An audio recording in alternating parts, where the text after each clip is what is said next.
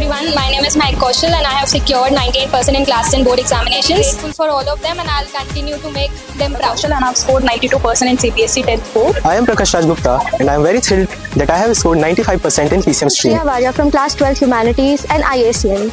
Today my class 12 result came and I was very excited for it. It was 90.8 percent. Thankful of my IES management who had always encouraged me. Thank you so much. My heartiest congratulations to all the students of class 10 and 12 who have scored exceedingly well in their class 10th and 12th CBSE board examinations. In class 10, uh, 98% is the highest aggregate marks by uh, Mehak Kaushal and in class 12, 96% aggregate marks is the highest by Shashwat Chai.